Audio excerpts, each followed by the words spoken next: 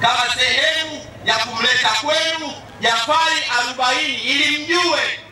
alifanya uamuzi sahihi kujiunga na Chama cha Mapinduzi kwa sababu Jafari arobaini aliwapenda sana, amewapenda sana, amewathamini sana, amewaheshimu sana. Hakutaka kubaki na udiwani, ubaki udiwani jina, ametaka abaki diwani ambaye alishughulika kutatua kero za watu, kwa sababu amefanya kazi na serikali iliyopo madarakani ambayo si nyingine ni ya ndugu John Pombe Joseph Magufuli, mwenyekiti wa CCM na rais wa Jamhuri ya Muungano wa Tanzania. Jembe kwelikweli, kweli, chuma cha pua, treni ya umeme, mwendo kasi, hapana chezea, na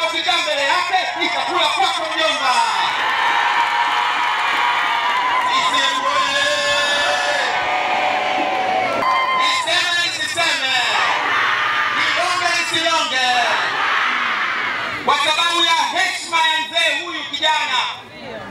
nataka nitamke hapa neno ambalo litakuwa ya kwamba, yani wewe kuingia